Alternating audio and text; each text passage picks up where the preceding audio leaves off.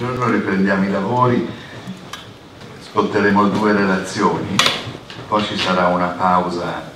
per il caffè alle 11, poi la relazione della professoressa Capuzzo e quindi probabilmente se le previsioni sono corrette e giuste ci sarà il modo verso un quarto a mezzogiorno di scendere nella sala Luzzatti in maniera che le persone che desiderano possano vedere alcuni cimeli che sono stati ordinati grazie a un'iniziativa del cancelliere emerito, il dottor Franchini, al quale noi tutti dobbiamo molto, anche per l'archivio Luzzatti, anche per l'ordinamento che a suo tempo è stato fatto e per la collana che lui ha con il professor Mazzarolli sostenuto e voluto.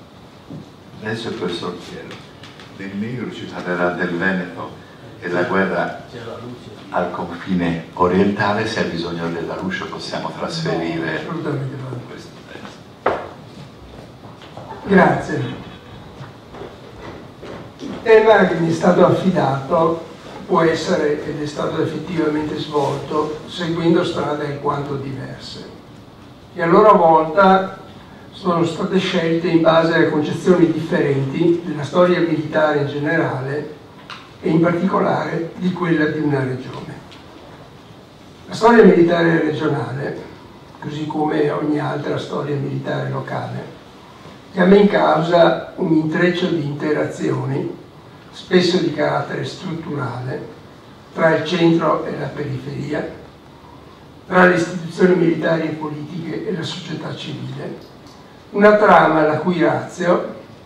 come sottolineava alla fine dell'Ottocento Francesco Saverio Nitti in uno studio sulla distribuzione delle forze armate sul territorio italiano, è, cito, determinata dalla politica e dalle necessità della difesa.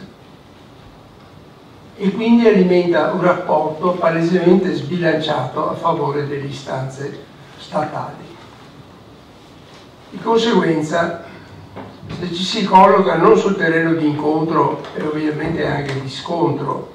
tra il centro e la periferia, ma su posizioni che privilegino quest'ultimo polo dialettico, si corre il rischio, tipico della storia, non soltanto militare, che si usa a definire minore,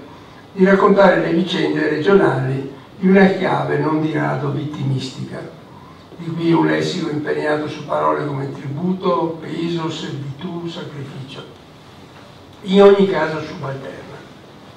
Si parla se e quando la periferia si riconosca nelle scelte prese a livello nazionale, ma nello stesso tempo si preoccupi di far risaltare la propria specificità di apporto, di contributo e di conseguenza si rivendica una parte più o meno brillante recitata in una pièce il cui copione è stato scritto da altri. Ma è anche vero che si corrono rischi ancora maggiori qualora si rinunci a una prospettiva che parta dalla regione stessa. In quest'ultimo caso la regione è infatti giudicata degna di essere presa in considerazione unicamente in quanto teatro attuale o virtuale di guerra e quindi in quanto territorio, topografia, scenario oppure nella misura in cui garantisce alle forze armate dello Stato un gettito di uomini. Offre, come si scriveva nelle relazioni sulle leve militari redatte tra 8 e 900 dagli uffici del Ministero italiano della guerra, un certo rendimento. Se poi a questa visione centralistica della storia regionale si accoppia anche quella concezione tradizionale della storia militare quasi mezzo secolo fa Peter Peart presentò nei termini di una descriptive history centering on leading figures, campaigns and climatic battles, si finisce per ottenere un risultato quanto mai paradossale nel caso del Veneto. Una regione senza dubbio citatissima negli annali della storia militare italiana ed europea, in ragione dei numerosi e spesso decisivi conflitti che ha ospitato soprattutto tra la fine del Settecento e la Prima Guerra Mondiale compresa, e quindi in questa ottica fonte inesauribile di studi e ricerche, di memoria e di analisi, ma nello stesso tempo a lungo priva di una storia militare regionale degna di questo nome, che tenga conto cioè oltre che della presenza di truppe e degli eventi bellici avvenuti nel suo territorio, anche delle strutture sociali e culturali, economiche e ideologiche presenti in loco e dei loro rapporti dialettici con la guerra e con i militari. L'inclinazione a favore di una grande, tra virgolette, storia militare e di conseguenza la propensione a considerare il Veneto soltanto o quasi un campo di battaglia sono state a lungo talmente forti che ancora nel 1968 fu respinta, tra l'altro nell'ambito di un convegno regionale veneto dedicato alla prima guerra mondiale, il primo a mia notizia che intendesse approfondire questo tema, fu respinta, dicevo, l'idea di esaminare le caratteristiche peculiari della regione, nella convinzione che, cito, allo stato attuale degli studi i problemi politico-sociali del Veneto appaiono assorbiti da quelli comuni a tutte le regioni e le province d'Italia, fine della citazione. Che non esistesse quindi un contesto specifico veneto, ma tutt'al più delle varianti locali di una situazione nazionale una tesi che risulta affatto imbarazzante alla luce di una serie di fenomeni della Grande Guerra che di fatto riguardarono soltanto il Veneto. Dai 40.000 profughi del 1916 al mezzo milione del 1917, dall'occupazione austriaca del 1917-18 dei territori al di là del Piave, all'estensione delle zone di guerra, con tutte le conseguenze sui rapporti tra militari e popolazione locale, eccetera, su buona parte della regione.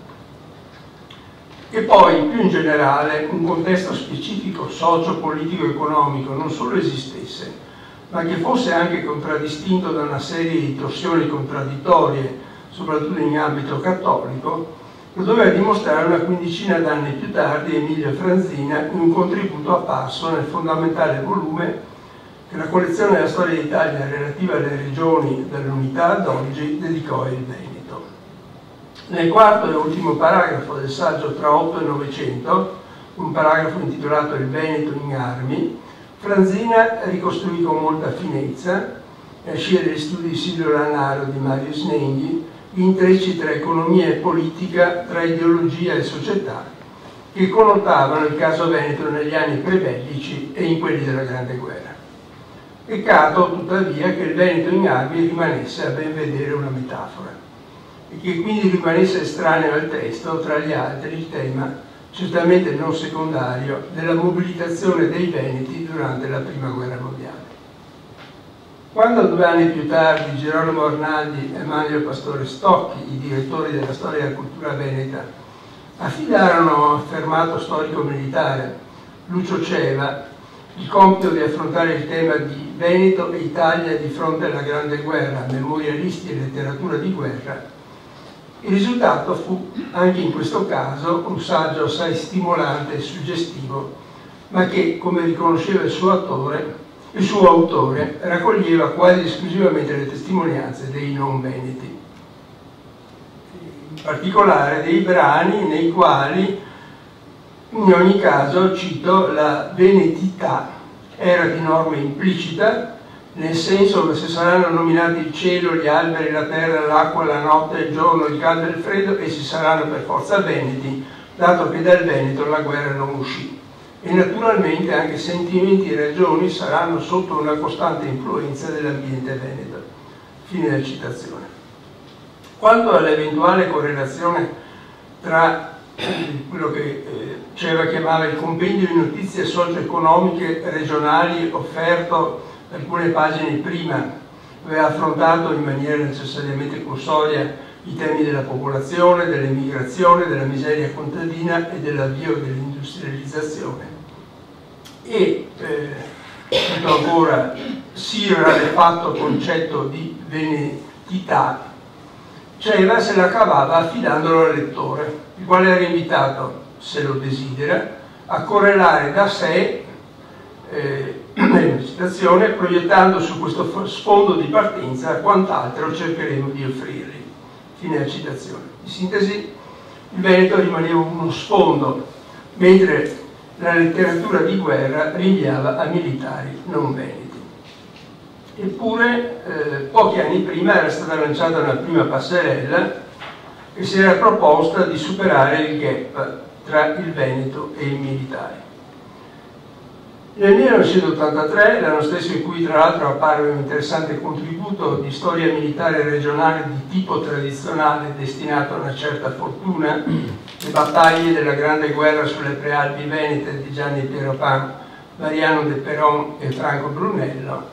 presentai in occasione di un convegno di studi otto-novecenteschi una relazione sul Veneto militare dall'annessione all'Italia alla Prima Guerra Mondiale. Che pochi anni più tardi, nel 1990, fu ripresa e ampliata in occasione di un convegno di studi sul generale Baldissera e il Veneto militare, un intervento intitolato Il Veneto militare dal 1866 al 1918, problemi e prospettive di ricerca, intervento nel quale era, come si ricava dal titolo, era presa in considerazione anche la Grande Guerra. Del mio intervento del 1983 aveva tenuto conto Lanaro, che ne aveva ripreso alcuni spunti nel volume dedicato al Veneto in un contributo intitolato Dopo il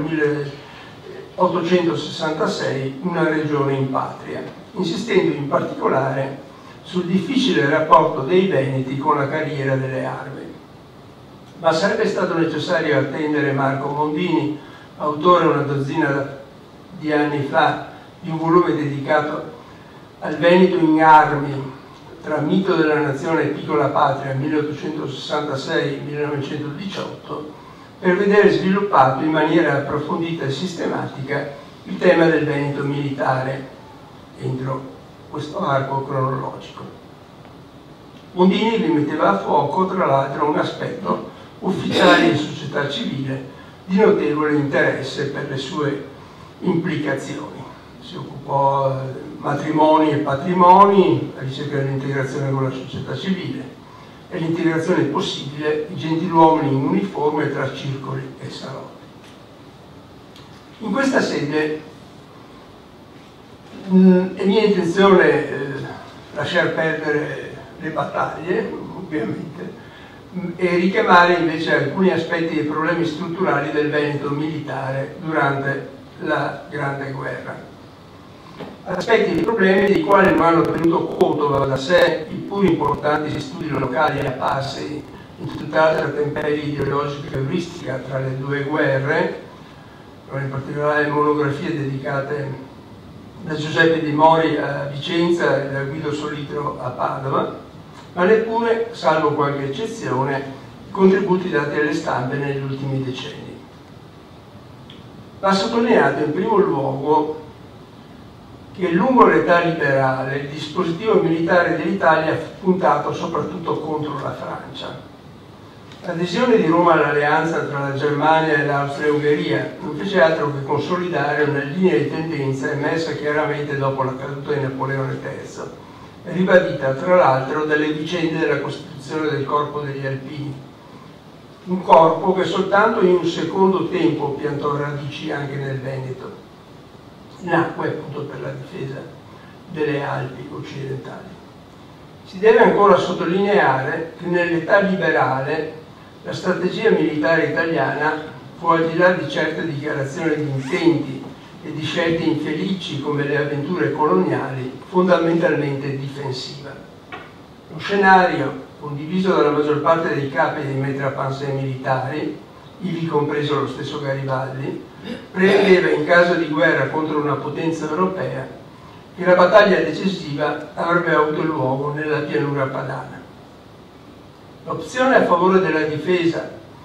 e la priorità accordata al rafforzamento della frontiera occidentale del Regno d'Italia fecero sì che la tutela dei confini orientali fosse affidata a linee di schieramento più o meno arretrate. Fino al 1885 la linea principale di resistenza fu collocata sull'Adige, appoggiandola al quadrilatero, in particolar modo a Verona, e al mare, vale a dire a Venezia. In altre parole, il Veneto era escluso da una difesa vera e propria. Dal 1885 al 1909 la prima linea di difesa fu spostata nei piani dello Stato Maggiore dell'Esercito come lo sarebbe stata nei fatti nel 1917-18 sul Piave. Soltanto alla vigilia della Grande Guerra fu sistemata a difesa anche la linea del tagliamento, ma principalmente tramite uno spostamento di truppe. Da ciò risulta tra l'altro che la densità militare, eh, nel caso del Veneto, sia consideri nel rapporto tra militari e popolazione, sia le consideri nel rapporto tra militari e territorio, fu sempre inferiore, salvo questi ultimi anni della vigilia della guerra, di quella nazionale, perché la concentrazione era Piemonte, Liguria, Lazio, l'area diciamo latamente tirrenica. Di conseguenza a lungo il Veneto fu considerato una marca di confine destinata a essere scusate, abbandonata, se non in toto, quantomeno in parte, al nemico. Inoltre, quando, come accade nel 1885, quel primo capo di Stato Maggiore dell'esercito, che nasce appunto in questi anni in conseguenza della conclusione della Triplice, il generale Enrico Cosens, e poi 30 anni più tardi, nel 1915, con il suo successore Luigi Cadorna, eh, quando appunto fu abbozzato un piano di attacco contro l'Austria-Ungheria e si ritenne che un'offensiva di tipo napoleonico potesse essere condotta in direzione di Lubiana e di Vienna, non ci si preoccupò più che tanto delle controffensive del nemico. Come testimonieranno nel 1916 la spedizione punitiva austriaca arrestata con molta fatica sull'altipiano di Asiago e nel 1917 lo sfondamento del fronte iniziato a Caporetto, il comando italiano si guardò bene dall'organizzare una solida difesa in profondità. Una scelta dettata soprattutto dal culto di quello che il generale Antonino Di Giorgio chiamò il pregiudizio territoriale. Vale a dire la direttiva che fosse necessario conservare a tutti i costi dei lembi del sacro suolo patrio strappati al nemico Di Giorgio, risposta a un quesito della commissione d'inchiesta sul Caporetto, che eh, questo pregiudizio territoriale, eh, cito, tenne siffattamente schiave elementi che pur di coprire pochi chilometri di territorio si tenevano salienti assurdi e si subivano situazioni tattiche mostruose, vi si lavoravano interi reggimenti, intere brigate, intere divisioni, si viveva nel rischio di subire da un momento all'altro dove il nemico avesse saputo approfittarne, come accade appunto a Caporetto, gravi rovesci di portata incalcolabile. Dicevo, il pregiudizio territoriale, ma anche dal fatto che non si poteva contare per i motivi che abbiamo visto e nonostante gli sforzi compiuti nel decennio precedente lo scoppio della guerra, ma soprattutto sul fronte alpino, su una linea di valide fortificazioni difensive permanenti nelle retrovie del fronte. E così quando cedete la prima linea, cedete tutto lo schieramento, sia nel 16, lezione appresa e altrettanto nel 17. Eh, leggevo poco fa una piccola mostra degli appunti anonimi che sarebbe molto interessante scoprire, di cui sarebbe molto interessante scoprire l'autore, eh, che andavano anch'esse nella stessa direzione, solo che eh, diciamo, la eh, critica eh, era ehm, su un piano ancora più moderno, se vogliamo, di quello di Antonino Di Giorgio, diceva cioè che la preoccupazione del comando generale di Diaz, di, scusate, di Cadorna era quella dei bollettini, in bollettini bisognava nominare nuove località conquistate, eccetera, eccetera. E per far questo si eh, spostava la linea in avanti con risultati appunto disastrosi come abbiamo appena sentito. Dunque, eh, in conclusione, il Veneto fu una periferia poco felicemente integrata nel sistema militare italiano. Questa torsione il passaggio da, dalla difesa all'attacco. non fu eh, assolutamente metabolizzata dal eh, comando generale. Cioè una periferia poco felicemente integrata al sistema militare italiano, oltre che sotto il profilo territoriale, anche per certi aspetti da un punto di vista sociale. La regione,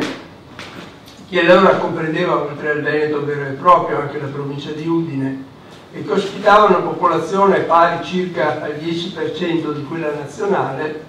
eh, conquistò, si fa per dire, tra gli ufficiali e gli ufficiali registrati dalle relazioni sulle leve di terra tenute durante la Grande Guerra una quota a parte di poco superiore al 6%, cioè quasi la metà di quello che sarebbe aspettata diciamo, se fosse stato il suo contributo proporzionale che era tra l'altro questo 6% la percentuale registrata dai Veneti in, in, su questo fronte, cioè eh, ufficiali e allievi ufficiali registrati in occasione delle leve, che si riscontra nel corso di tutta l'età liberale. Quindi la guerra non cambia nulla sotto questo profilo e si rimane in una situazione diciamo, deficitaria per Ancora più deludente, quantomeno a prima vista, è il comportamento della borghesia provvisoriamente in armi, vale a dire l'ufficialità di complemento. Abbiamo dei dati relativi ai corsi per gli allievi ufficiali di complemento dell'arma di fanteria tenuti negli anni 1915-16, corsi che furono frequentati su domanda degli interessati. In questi corsi il Veneto eh, offrì un contributo inferiore di quasi il 40% alla media nazionale, calcolata in relazione al numero degli abitanti, e anche eh, occupare l'ultimo posto nella classifica interregionale. Tuttavia va sottolineato che in questo caso, così come anche nel precedente, le statistiche rischiano di condurre fuori strada. In particolare il tentativo mio nella mia scia di Lannaro di assegnare una valenza politica alla deludente percentuale registrata dai Veneti in divisa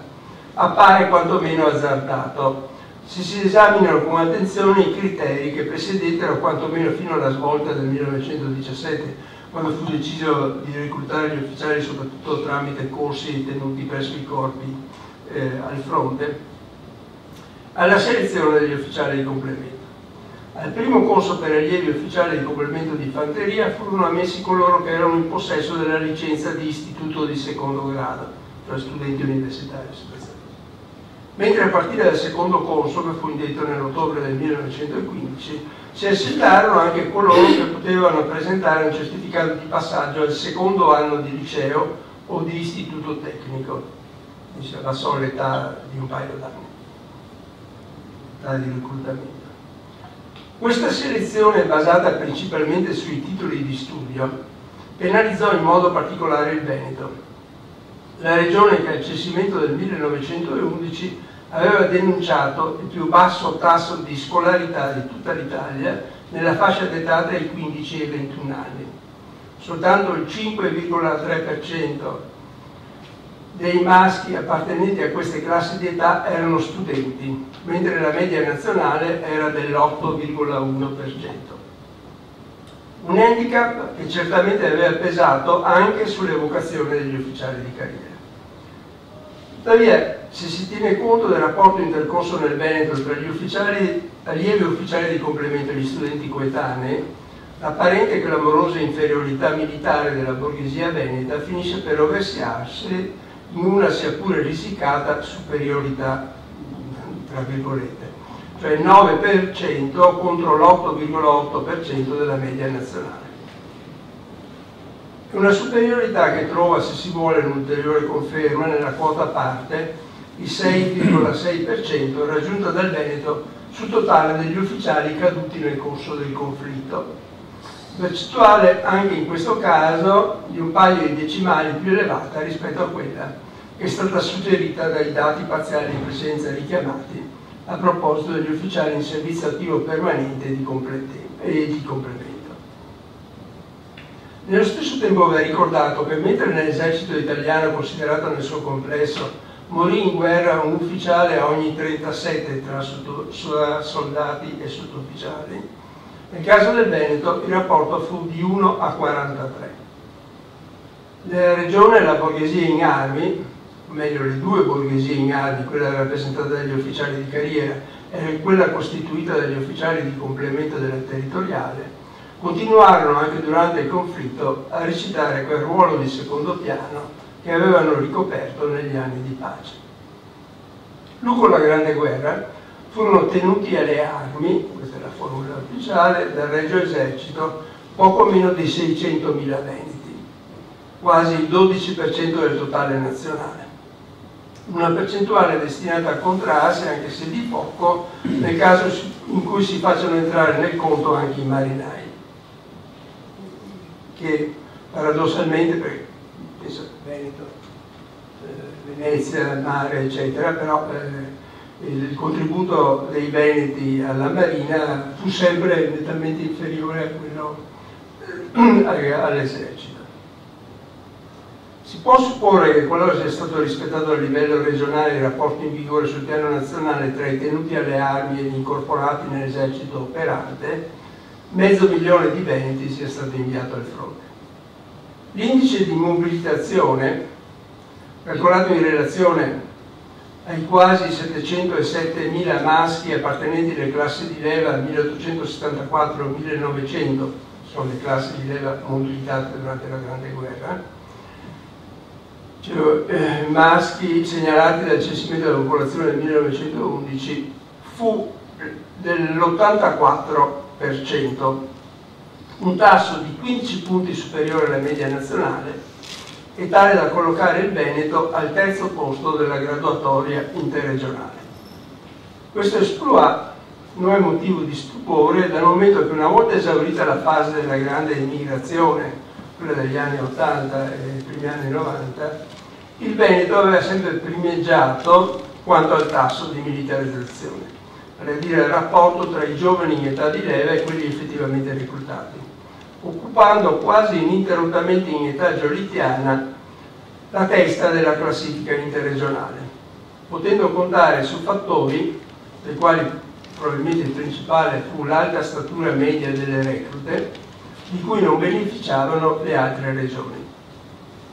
Tuttavia anche questa eccellenza militare, cioè quel dato dell'84% per cento superiore al 69% medio nazionale, deve essere considerata anch'essa in parte il frutto di una distorsione statistica, come indica il fatto che se si calcola il tasso di mobilitazione a livello provinciale ci si imbatte in percentuali quanto mai distanti tra esse. Il 60% nel caso della provincia di Venezia, contro rispettivamente gli apparentemente stravaganti 113 e 112% nei casi rispettivamente di Belluno e di Udine. Spiega tutto questo? E questo enorme scatto tra gli indici si spiega con la circostanza che Belluno e Udine erano province con un altissimo tasso di emigrazione temporanea. Ben 104.000 degli oltre 466.000 italiani rimpatriati prima del 25 settembre del 1914 appartenevano a queste due province. Il loro ritorno a casa fece impennare il numero della popolazione in età militare registrata nel censimento del 1911 e quindi schizzare verso l'alto un tasso di mobilitazione che era calcolato in rapporto ad essa. Ma appunto eh, distorsione statistica. Riesce di non facile defiltrazione anche un altro dato che sembrerebbe anch'esso deporre a favore dell'eccellenza militare dei, dei Veneti. Mentre nel corso del conflitto l'indice italiano di renitenza salì dal 10,3 degli iscritti nelle liste di leva appartenenti alle classi 1894 e 1895 all'11,7 degli iscritti appartenenti alle classi 1896 e 1899, la regione si segnalò per una contrazione di questo tasso di renitenza dal 7,1 al 6,3. Non si è tuttavia in grado di stabilire se l'allargamento della forbice tra la percentuale nazionale e quella regionale debba essere messa in conto principalmente le peculiarità e i diversi ritmi dei fenomeni migratori c'è una correlazione di lungo periodo tra emigrazione e renitenza. La seconda non è la, diciamo, la motivazione della prima, sia ben chiaro, è la conseguenza, si, essendo emigrati eh, si diventava renitenti, ma non si emigrava per eh, fuggire la leva militare. E, dicevo, se eh, il problema è legato appunto alle peculiarità di diversi ritmi fenomeni migratori o se piuttosto rifletta in una qualche misura una maggiore adesione o quantomeno una più diffusa rassegnazione dei veneti nei confronti della guerra. Se poi si considerano da una parte le condanne per diserzione inflitte dai tribunali militari dell'esercito operante e il numero dei prigionieri e dall'altra le medaglie e le croci di guerra e il valore militare distribuite nel corso del conflitto, troviamo che il Veneto si distinse contra contraddittoriamente su questi due fronti, su entrambi i fronti. In particolare, il numero dei prigionieri fu particolarmente elevato nelle province di Udine e di Belluno, le quali peraltro si distinsero anche per il numero delle ricompense al valore. Ne furono concesse 3,7, le compense al valore sono appunto le medaglie oro, argento, bronzo e le croci di guerra al valore militare, e furono concesse 3,7 ogni 100 arruolati ai bellunesi e 2,9 ai friulani, mentre le province di Padova e di Rovigo ne ebbero soltanto 1,5, sempre su 100 arruolati. A favore delle province di confine contò principalmente il fatto che appartenessero all'area di reclutamento del corpo degli alpini, corpo maggiormente premiato durante la guerra, 4,2 decorazioni ogni 100 alpini contro ad esempio le 2,6 concesse alla fanteria generica, esclusi appunto alpini, bersaglieri, aviazione, eccetera. Volendo approdare a una conclusione, si può affermare che sia perché impiegati su fronti in situazioni obiettivamente più difficili e pericolose, non a caso il rapporto tra i morti in guerra e il numero di arruolati fu del 13,1% nel caso della provincia di Belluno contro l'8% per quella di Rovigo, sia perché inquadrati in quella sorta di nazione armata di frontiera che era il corpo degli alpini e quindi maggiormente motivati e disposti ai sacrifici, i beni delle zone alpine e pedemontane riuscirono a testimoniare il loro valore in maniera tale da consentire alla Regione nel suo complesso di annullare o quasi sul fronte delle ricompense al valore l'handicap rappresentato dal suo modesto contributo al corpo ufficiale dell'esercito. Handicap perché, eh, come è ovvio, in tutti gli eserciti, gli ufficiali erano privilegiati nel momento della distribuzione delle medaglie rispetto ai comuni eh, soldati della truppa. Nello stesso tempo i dati relativi ai disertori e ai prigionieri sembrano indicare che proprio nelle aree del Veneto maggiormente esposte, sia in quanto territorio sia in quanto popolazione al conflitto, si registrava una forte divaricazione di comportamenti, una contrapposizione tra chi accettava o subiva fino in fondo alla guerra e chi era pronto a approfittare delle circostanze per tornarsene a casa oppure consegnarsi al nemico. Linee di divisione all'interno della regione non contrapposero soltanto le province di frontiera a quelle dell'interno, ma anche all'interno delle province stesse, i capoluoghi e i rimanenti comuni. Ad esempio il tasso medio di mortalità calcolato in riferimento ai maschi in età militare risulta del 5,5% per Venezia e del 12,3% per il resto della provincia del 6,1 per Treviso e del 9,7 per il Trevigiano, del 6 per Padova e dell'8,3 per il Padovano. La guerra colpì soprattutto le campagne, nel Veneto come nel resto d'Italia, in misura assai minore il settore manifatturiero, mentre risparmiò relativamente le città e all'interno di queste ultime le componenti meno legate all'economia tradizionale e soprattutto le fasce sociali più abbienti. L'inutile strage fu senza dubbio una strage spaventosa, ma almeno per l'economia non fu affatto inutile nella misura in cui accelerò il processo di modernizzazione. Grazie.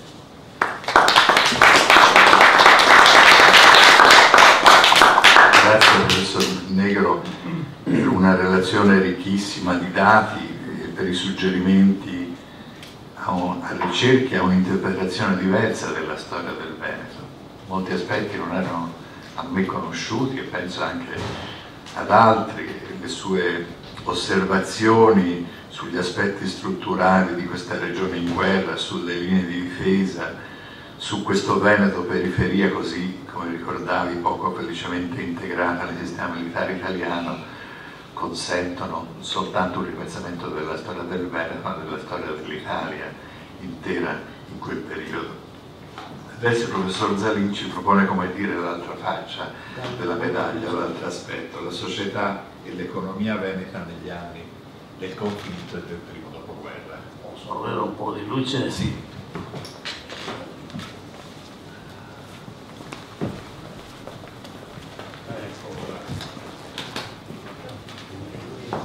Va bene.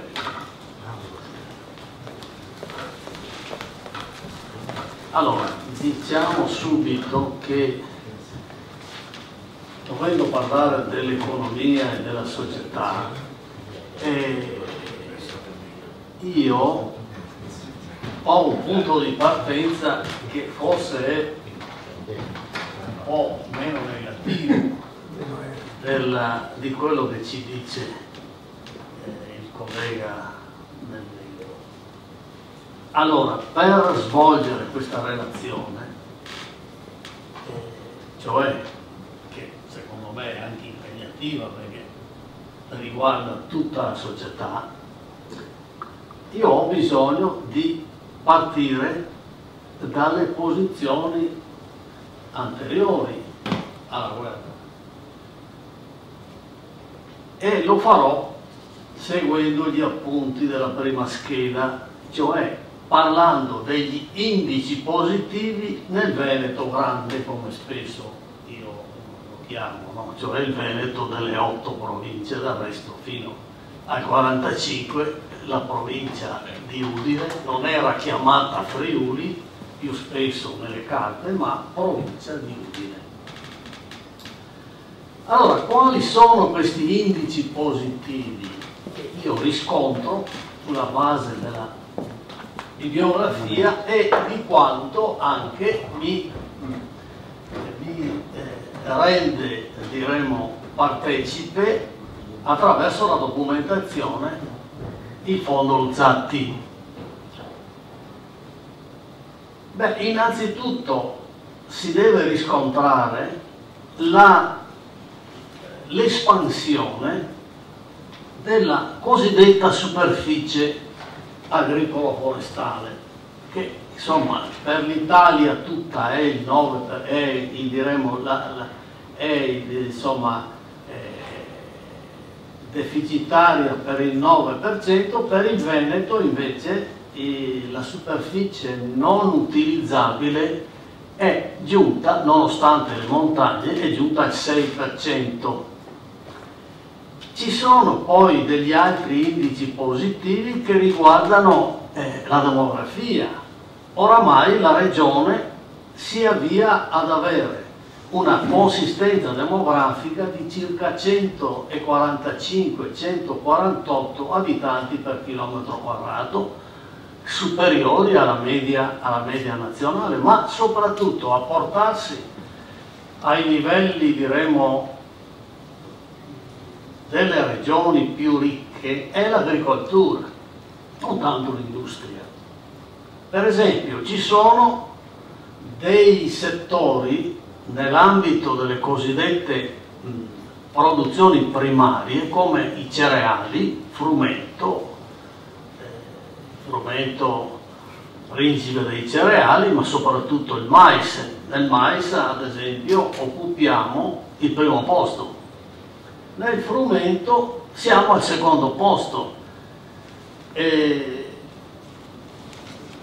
non so, per quanto riguarda il riso siamo al terzo posto e per, per i bozzoli viceversa con i suoi 10 milioni di chilogrammi prodotti certamente vediamo, veniamo dopo la Lombardia, ma difficilmente troviamo un'altra regione che offra questa abbondanza di materia prima Per quanto riguarda l'industria, faccio alcuni cenni e ovviamente i punti di forza, come spesso è stato scritto anche da me, fra parentesi. Vabbè, e in sostanza eh, i punti di forza sono il Vicentino, si capisce, e Venezia. Venezia la metterei eh, al primo posto e Vicenza al secondo. Però voglio qui parlare dal momento che la guerra si è abbattuta soprattutto sul confine orientale e Caporetto riguarda certo Friuli, Bellunese e in parte Trevigiano. E cioè è andata perduta tutta quella parte diremmo che aveva fatto forse i progressi maggiori. Beh, insomma il Friuli ha diremmo delle grandi, delle grandi affermazioni nelle fornaci bene, nella creazione dell'industria elettrica, nei cementifici, nelle ferriere, eh, facendo una relazione sulla Valle d'Aosta mi sono trovato di fronte alle ferriere di Udine che avevano acquisito delle partecipazioni, cosa che non sapevo, e quindi, inutile a sottolinearlo, i cotonifici, no? No, no, il, il Friuli possiede 6-7 cotonifici di recente impianto in cui è vero che c'è un contributo di capitali e di conseguenza di personalità, cito dei nomi, Amman e Webfer, sono stranieri. E, e addirittura i fratelli Belazza e gli svizzeri Rivail sono stati i primi a impiantare i cotonifici, ma insomma i cotonifici sono cresciuti proprio tra 800 e 900. Ecco, è una regione che alla vigilia della guerra si può eh, definire tra le più prospere d'Italia. In questo senso i miei dati eh, caro del negro, sono meno negativi dei tuoi, va bene. E soprattutto accentuerei l'attenzione sui grandi progressi che ha fatto l'agricoltura. L'agricoltura veneta non è stata studiata a fondo, va bene. ma certamente gli indici che gli annuari statistici ci danno vedono, come dicevo prima e ricapitolo, vedono sia nel campo della dotazione del bestiame, sia nel campo eh, delle grandi produzioni primarie, sia nel campo eh, dell'orticoltura, per esempio, ci sono, sono citatissimi gli orti di Chioggia, insomma, ci sono delle sezioni eh, agricole non sufficientemente indagate che rendono questa eh, regione ai primi posti nella graduatoria nazionale. Ecco, la guerra, la guerra interrompe questo naturale e considerevole progresso. Eh, insomma, anche queste sono cose note, lo, ab lo, abbiamo già avuto un dato sullo sfollamento dall'altipiano già nel 16 i miei dati peraltro sono addirittura più catastrofici, perciò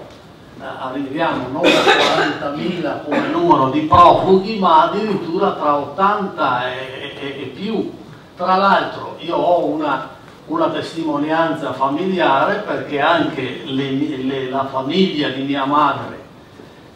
che, erano, che loro erano di Carré, eh, viene fatta sloggiare dal, da questo territorio e trovano accoglienza a Gran Torto, cioè un paese del Padovano. 12, 12 componenti.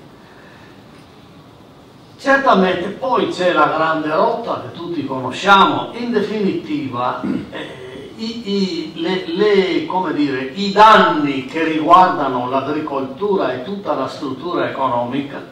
sono stati ingenti e eh, sintetizzandoli sono stati ingenti perché abbiamo perso almeno la metà del territorio. Sono stati ingenti perché le braccia, per questo riguarda tutta la nazione,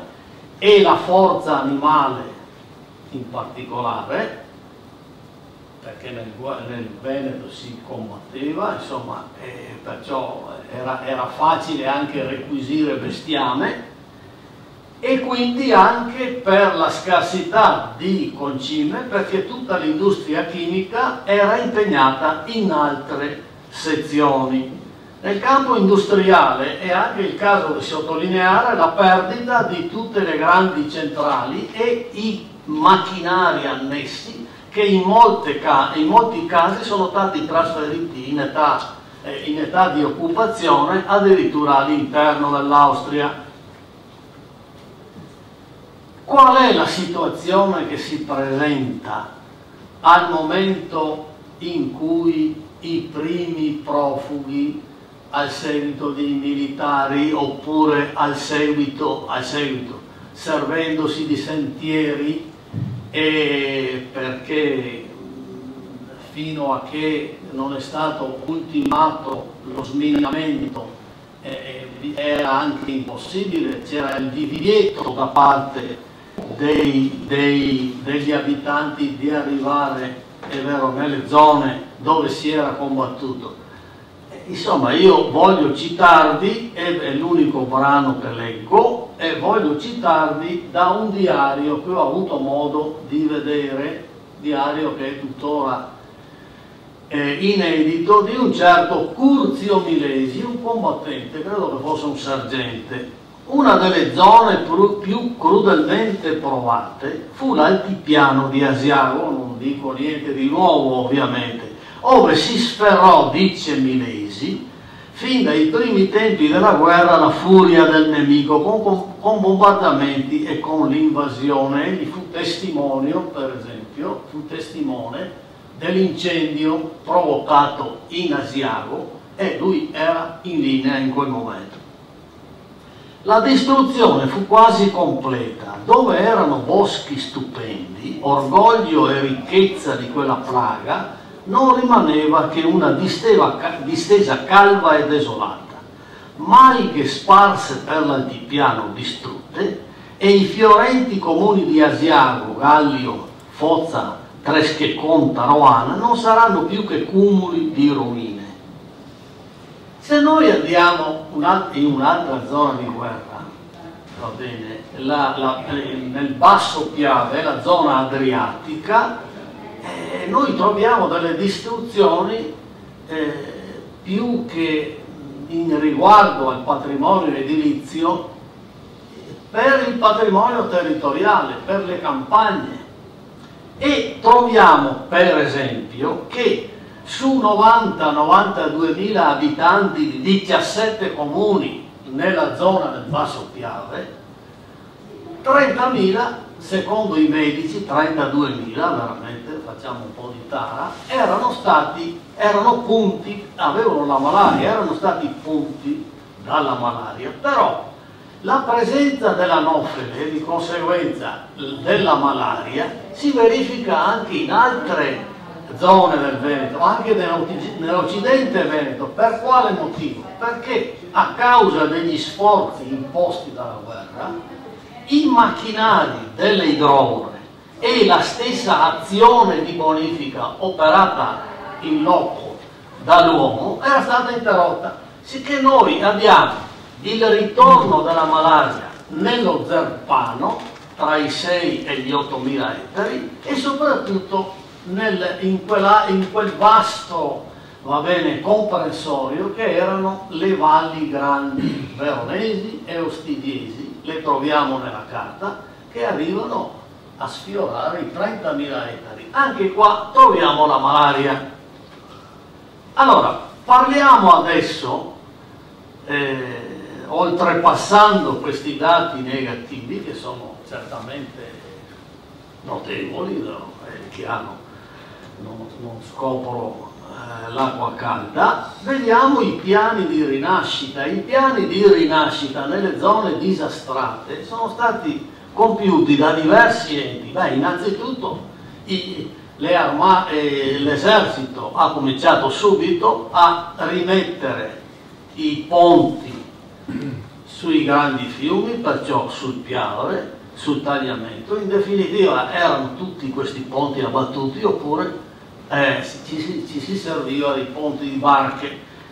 L'esercito e successivamente il genio sia militare che civile cominciano a creare le infrastrutture, era tutto distrutto. Nel Veneto, oltre il Piave, vi era una distruzione immane. Allora,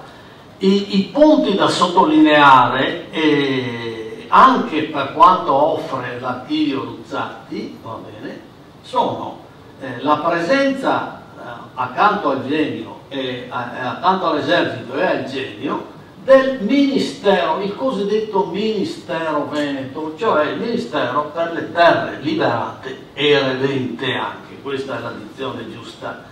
Allora, eh, questi evidentemente attraverso dei comitati, attraverso dei loro esperti, danno un grande impulso alla ricostruzione. Qual è il mezzo con cui noi cominciamo a ricostruire e lo abbiamo fatto sostanzialmente in un paio di anni? Sono le cooperative. Le cooperative sorgono come funghi e c'è uno strumento che va sottolineato eh, le, le, le, i finanziamenti per la disoccupazione. Tutte le cooperative sono piene di disoccupati, acquisiscono i fondi soprattutto in base alla legge che consente l'erogazione dei fondi per la disoccupazione. E in definitiva quali erano le, le, le, le stime eh, su, sui danni che hanno colpito l'edilizio eh, urbano, l'edilizio dei paesi, diciamo, città e paesi, e lasciamo stare le campagne, perché anche nelle campagne, va bene, si era combattuto, ma, eh, le, i, ter i, territori agricoli erano intrisi eh, di trincee, reticolati, ma soprattutto di armi e bombe che potevano esplodere, come di fatto si sa, si è verificato in centinaia se non migliaia di case, eh, migliaia di casi, allora diciamo che le stime vertevano su un patrimonio andato perduto di circa 80.000 case. 80.000 case erano da riassestare e da ricostruire. Questo è stato possibile attraverso l'afflusso, il coagulo delle cooperative che non sono quelle che sono sorte nel Veneto, da tutta l'Italia accorrevano nel Veneto uomini che servendosi appunto degli anticipi dati dallo Stato per combattere la disoccupazione, in definitiva hanno fatto diventare le zone disastrate del Veneto un autentico e immenso cantiere. Con questo, questo è un, certamente è un dato positivo. E io voglio sottolineare, la documentazione è immensa, no? chi, va, chi no, eh, ha la pazienza di vedere eh, eh, le, le carte depositate nel fondo Luzzatti per l'Alto Commissariato per i Profughi insomma si rende conto che si tratta di un materiale abbondantissimo e, e, e sarebbe possibile fare dei volumi perché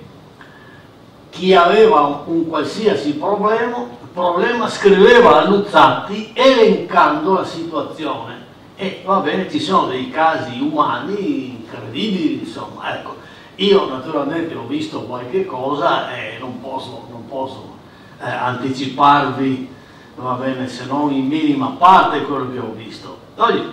ogni modo, voglio, eh, voglio almeno analizzare, sempre in connessione con i problemi che nascono dalla ricostruzione, due temi. Il bestiame. Voi direte, il bestiame. Ma il bestiame è andato in gran parte perduto. Anche qui io ho una testimonianza familiare vabbè, a cui non prestavo fede, ma che invece mi viene, mi viene confermata da quello che vedo nelle fonti. Cioè il, il bestiame aveva due prezzi, quello che era disperso al di là del Piave e quello al di qua del Piave. Allora ci sono mediatori e vari, diremmo, e, e vari individui che riuscivano a crearsi una organizzazione loro, i quali comperavano il bestiame a, a vilissimo prezzo oltre il Piave e lo facevano trasferire, non naturalmente durante il mese di ottobre e novembre, ma successivamente lo facevano trasferire lucrando. La testimonianza mi da mio padre, infatti su questo episodio ogni tanto ci ritornava sopra. Credo che anche lui in qualche misura qualcosa abbia fatto. Allora, eh, i calcoli sul bestiame perduto o addirittura morto di fame, perché insomma a un certo punto nessuno badava più al, al bestiame nelle zone invase, e sono abbastanza approssimativi, però si parla di 350.000 capi di bestiame andato perduto. Allora, quando nel 19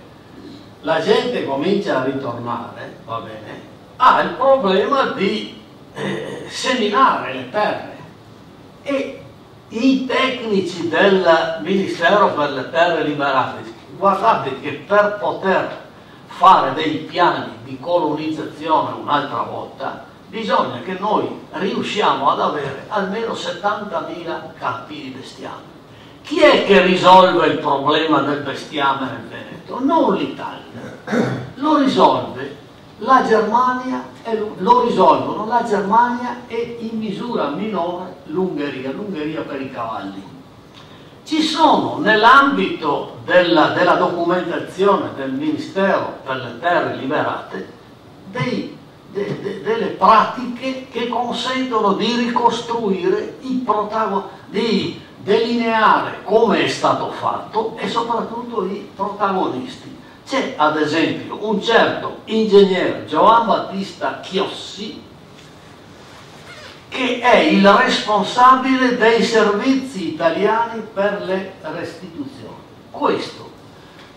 eh, stabilisce il suo quartier generale nell'Assia, a Wiesbaden, e attraverso una sua organizzazione di, di, di incaricati che scorrevano le campagne tedesche e anche quelle ungheresi, va bene, radunavano questo bestiame, abbiamo anche, abbiamo anche le razze, le razze che sono confacenti ai bisogni delle campagne venete, che sono l'Algau, la Franconia, la Pizzgau, la Simmental. Ebbene, questo bestiame veniva radunato, veniva eh, condensato a Rosenheim, che è una città a ridosso del confine, dell'attuale confine austriaco e sapete chi a, a Rosenheim ha potuto sostare? Il grande, il grande, insomma, il nostro poeta Carlo Emilio Gadda passa buona parte della sua prigionia a Rosenheim. Naturalmente io mi ricordavo queste cose e leggendo il, per diletto il diario, il diario di guerra il diario, diremmo, dei fatti di, Caporetto, di Caporetto e successivi di Gappa ho potuto vedere, parla in maniera diffusa di Rosenheim. Va bene, a Rosenheim c'era la ditta, la ditta Gautieri, certamente non è veneta, questa di, immagazzinava, convogliava sui vagoni ferroviari il bestiame e il punto di approdo in Italia era la stazione di Vicenza e da Vicenza a seconda di quello che chiedevano i consorzi il bestiame veniva restituito nel Veneto. Allora ho voluto dirlo perché raramente si trova, si trova materiale di questo genere. L'altro fatto su cui vi soffermo, mi soffermo è un fatto che è legato certamente alla genialità e alla competenza bancaria di Luigi Luzzatti. Voi sapete che Luigi Luzzatti, tutti sapete che è il divulgatore massimo delle banche popolari bene, sul modello tedesco di, di, Sulz e Liza, vero? E però insomma queste banche popolari eh, sono, sono sorte come funghi in tutta l'Italia, non solo nel Veneto. Ebbene, già subito dopo la rotta di Caporetto, Luzzatti si fa promotore non solo di una deliberazione presa dal nostro Parlamento che sancisse il diritto dei profughi a essere, diremo, a essere, eh, come dire, insomma, a ottenere per i danni ricevuti il loro necessario strumento. Ebbene, passa questo diritto, ovviamente la, la Francia fa lo stesso, va bene, e, e Luzzati è tra i promotori di questa importante legge, però dal punto di vista pratico Luzzati comprende che eh, non sarebbe stato opportuno affidare alla burocrazia le pratiche di rimborso dei danni. Allora dice Luzzatti, fatto salvo il, il principio che ogni danneggiato deve inoltrare domanda alle intendenze di finanza specificando la località e tutti i dati relativi al danno subito, premesso questo, Luzzati dice e fino a una certa somma che ci sia un ente bancario che effettua l'anticipo, l'anticipo sul danno ricevuto. E questo ente è il famoso Istituto Federale di Credito per il risorgimento della Venezia. Poi la parola risorgimento è caduta, ma dobbiamo arrivare negli anni 30, 30 e 40 e questo ente avrà sede a Venezia e arriverà praticamente fin quasi ai nostri giorni, capito? E questo è lo strumento ideato da Luzzatti. Naturalmente le, le relazioni che aveva Luzzatti con il sistema delle banche, non solo come popolari, era tale che una ottantina di banche nel Veneto hanno immediatamente sostenuto l'iniziativa comprando eh, quote di questo nuovo ente e in definitiva in poche settimane l'Istituto Federale di Credito è in grado di operare sulla base di un capitale raggiunto di circa 50 milioni. Però il, a sua volta il Tesoro aveva dato una elargizione immediata di 200 milioni e ogni mese il Tesoro anticipava per i bisogni dell'istituto circa 50 milioni ogni mese. In definitiva sono 600 milioni all'anno. Sulla base di queste cifre i danneggiati che avessero presentato richiesta sono stati diremo, soddisfatti.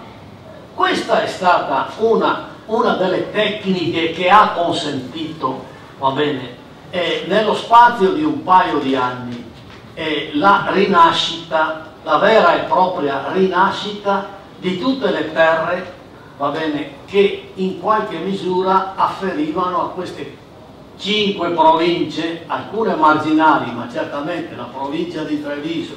la provincia di Belluno e quella di Udine, va bene, erano tra le, le maggiori eh, danneggiate. Naturalmente noi possediamo qui ne, nelle carte dell'istituto eh, tutte le operazioni. Adesso io non, non, ho, non ho il tempo, diremo, però non solo sono stati restituiti i soldi a, a, a, ai milioni, si può dire, certamente alle centinaia di migliaia di piccoli proprietari che avevano perduto la loro abitazione, ma sono state rimborsate anche le, le, le imprese. Adesso per dire, vi, vi do alcuni nomi, ma sono centinaia, vi leggo alcuni nomi di coloro che hanno percepito un milione di indennizi da parte dell'istituto eh, da parte dell'istituto federale di credito. Per esempio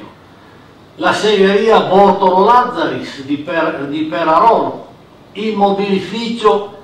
eh, Francesco Chiamulera di Lozzo Bellunese la anonima litoranea di elettricità di San Donà di Piave, il cotonificio veneziano che si era intrufolato, che si era appropriato di uno dei grandi eh, cotonifici di Torre a seguito di operazioni avvenute ancora nell'anteguerra. Ebbene, c'è il cotonificio veneziano, lo iutificio di San Donà, gli stabilimenti a Man, questo è uno, è uno, è uno eh, cotonificio, la cartiera Rossi di Arsiero, perché dall'altipiano Arsiero che sta in basso, ebbene i, i, i, mm, dire, gli austriaci riuscivano a colpire anche la cartiera di Siero che ha avuto grossi danni. Le fornaci eh, Chiabai, Urbanis, Banelli di, Gol di Gorizia, la, fi la filatura Maccò. Naturalmente, quali sono state le imprese che hanno avuto il massimo dei compensi dall'istituto? La Sade e la Cerina che hanno rispettivamente 4 e 5 milioni di anticipi.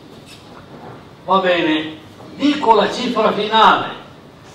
e fino al 31 dicembre del 1921 l'Istituto federale eh, è riuscito ad anticipare in conto danni ben 1 miliardo e 200 milioni di euro. E sono con questi soldi che è stato possibile bene, far riprendere al Veneto la sua connotazione diremo come noi la conosciamo. Abbiamo anche a opera dell'Istituto Veneto, ne accenno brevemente, eh, altre iniziative che, che poi saranno, andranno avanti eh, negli anni, vale a dire l'ente di rinascita agraria per le province di Venezia e Treviso, che poi sarà il famoso Tre Venezie, e l'Istituto di Economia Montana di Colmezzo. Anche queste sono iniziative messe in atto dall'Istituto Federale, allora diretto da Max Sarava, che è uno, dei, uno dell'entourage, diremo, di Luigi Luzzatti. Adesso permettetemi di illustrare e di leggervi, e ho finito, e ho finito, va bene, l'intervista che è apparsa in una settimana, in una... Um, non so se è settimanale, no, deve essere addirittura un giornale eh, greco. C'è una delegazione che arriva in Italia per conoscere l'entità dei danni, suppongo che sia questa dell'anno 1921, perché si parla di Luzzatti che è attuagenario. Va bene? L'onorevole Luzzatti, con voce tonante e la lucidità di mente sorprendente per un uomo ottuagenario, ci rammentò i disastri e le peripezie delle terre invase dagli austriaci. Questo dice questo giornalista, va bene, che no, fa, sì, è inutile, è inutile che vi dica il nome perché è anche abbastanza strano e non so se sia esatto. Però Luzzatti in, invita questo giornalista assieme ad altri giornalisti a fare una, una scampagnata, come dice lui, nelle terre, insomma una visita di lavoro nelle terre e dell'altipiano e delle, de, de, de, della provincia di Belluno e di Udine per vedere come è andata avanti la rinascita va bene, delle terre, delle contrade disastrate. Allora, al suo ritorno da Trieste, continua questo corrispondente greco, incontrammo a Venezia, vi leggo perché sono ritornato, sono arrivati a Venezia, incontrammo a Venezia il ministro delle terre liberate, onorevole Raineri, e gli volle chiedere le nostre impressioni dalla gita e noi gli esprimemmo insieme alle nostre congratulazioni anche la nostra ammirazione. A me più specialmente chiese se la sorella, eh, Raineri al corrispondente, del, del, al giornalista greco, se la sorella greca avrebbe da imparare qualche cosa da ciò che i greci vedono in Italia. Gli risposi è il corrispondente greco che risponde a Raineri, ripeto, ciò che dico anche a voi e che vorrei fosse preso in seria considerazione dalle nostre autorità competenti, e cioè per la ricostruzione di Salonicco sarebbe bene applicare i metodi della ricostruzione del Veneto.